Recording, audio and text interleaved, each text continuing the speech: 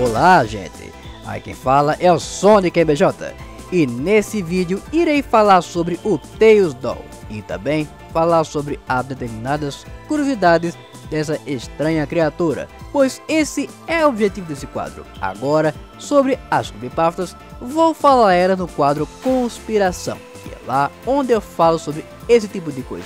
Então, sem mais delongas, vamos começar mais um Desvendando o Ouriço.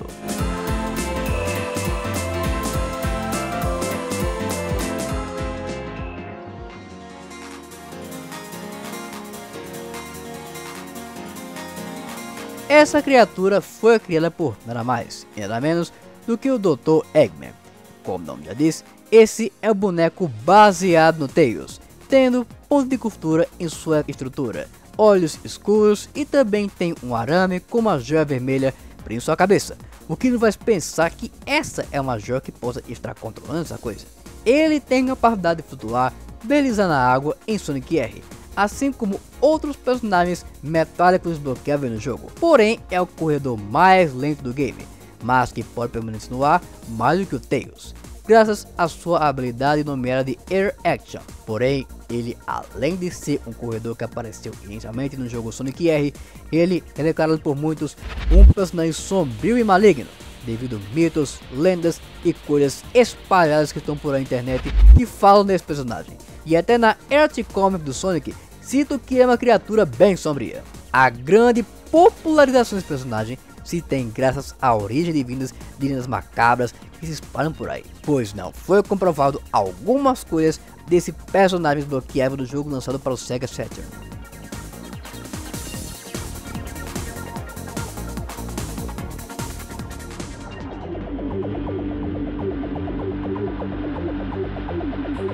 Antes de começar essa parte do vídeo, leve em consideração que apesar das Art Comics serem produtos oficiais da franquia do Ouriço, elas não pertencem à história canônica e principal que está na série de games principais do Sonic. Enfim, continuando. Tails Doll já apareceu nos quadrinhos do Sonic na Art Comics. Ele apareceu tanto antes e depois na Super Genesis Wave que esse Genesis Wave é praticamente uma fase de tipo como fosse o reboot dos quadrinhos.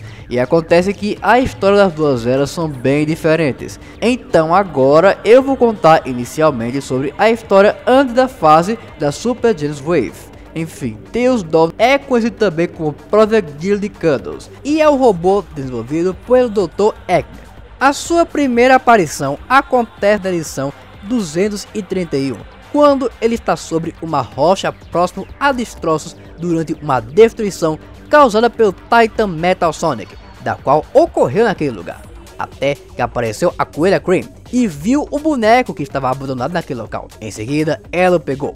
Decidiu encontrar o dono daquela criatura de que ela não sabia que era uma criatura tão sombria assim. O boneco agiu como se fosse um espião para o Eggman, utilizando em seus planos como destruir a cidade. E apesar do Tails Doll se parecer como simples boneco de pano baseado no Tails, ele também é a porta para o avanço dos planos do Eggman. Na Art Comics fala que ele mesmo sendo um robô com fraquíssimo poder, ele possui poderes incríveis e avassaladores. A joia que o Tails Doll possui em sua cabeça é capaz de absorver nanites. E quanto mais nanites o Tails Doll consome, mais poderoso ele fica. Mas chega uma hora que tem um nível tão cabuloso da Nitens que ele pode subir uma monstruosa e macabra transformação. Agora, indo à história após a Super Genesis Wave, que é da era atual, que é diferente no caso. Nessa história, o Eggman também usa ele para ajudar em seus planos, como o tipo de acabar com o Mobotropolis, e também para outras funções. Ele aparece pela primeira vez na edição 252, e assim como na Super Genesis Wave, ele também pode ter uma transformação cabulosa.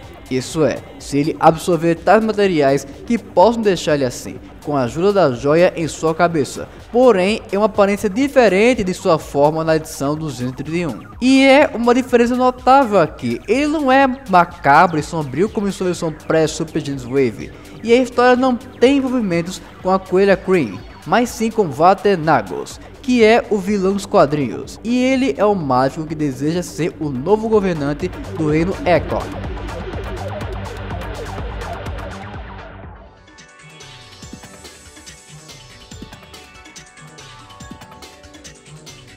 Além dos quadrinhos da Art Comics, o Theos Doll também aparece em alguns jogos da franquia além do Sonic R, porém com uma aparência é, absurdamente diferente. Em Sonic Adventure, porém nós temos algo que não é nada parecido com o boneco que vimos no jogo lá do Sega Saturn. E ele não consegue se mover, e próximo a ele também possui outra versão do boneco, que é Sonic e Knuckles. Basicamente, parece ser bonecos apenas usados como durante o treinamento lá para os robôs do Eggman. E esse mesmo boneco de Sonic Adventure também apareceu como cameo em Sonic Rivals do PSP, colocando o nome de Tails Doll em um cartão colecionável no jogo. Outra aparição, porém não tem nada a ver com Tails Doll conhecemos, está aparecendo em Adventures of Sonic the Hedgehog. Pois é, meus amigos, se vocês acham que apenas o Chili Dog sai de lá, saiba que o nome de boneco baseado no Tails e criado pelo Robotnik saiu de lá. Entretanto, não tem nenhuma ligação com Teus Doll presente nos games. Mas primeiro, vamos analisar a aparência desse Teus Doll e da forma como o Sonic pega ele. Minha nossa, que bizarro. Tá bem, meus jovens? Adventures of Sonic the Hedgehog é um desenho onde tudo de bizarro pode acontecer. Agora, existe uma aparência que não é do Teus Doll, mas que vale muito a pena ser mencionado, que é o Virtual Hedgehog, que aparece em Sonic Colors no Eggman Sonic Simulator na versão de Wii e Sonic Lost World na versão de Wii U, que só pela joia vermelha que está no topo de suas cabeças nos faz lembrar imediatamente do boneco de Sonic R.